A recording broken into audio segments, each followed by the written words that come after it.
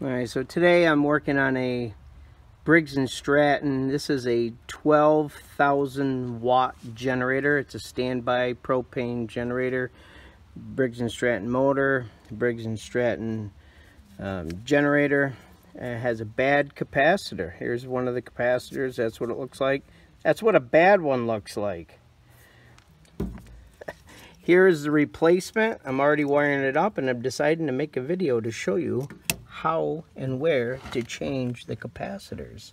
They're hiding right up above this generator. There's a, a black looking tin box that they hide in that keeps them uh, safe and cool. And that's where they're at. You unplug them, replace them. This is where this guy goes. Put your zip ties, new zip ties in. I hope that sun isn't too crazy for you. And they plug right back into here and I already installing a zip tie right there if you can see it. I don't think you can but we'll review the video and see how it goes.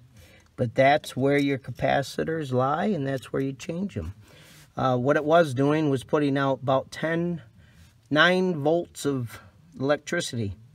So I made some phone calls and they're saying change the capacitors and that's what I'm doing. We'll give it a test run in a minute. Now film